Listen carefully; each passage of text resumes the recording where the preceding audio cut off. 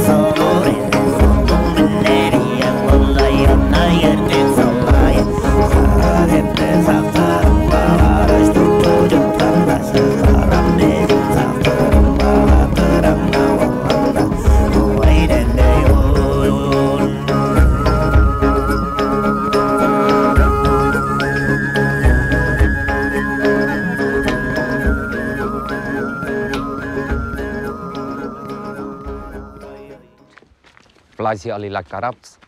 I'm not a Bedouin, you idiot. I'm a fully qualified structural engineer. Kamu ini hasil pekar binang otak nenek tua. What did you say? Nothing.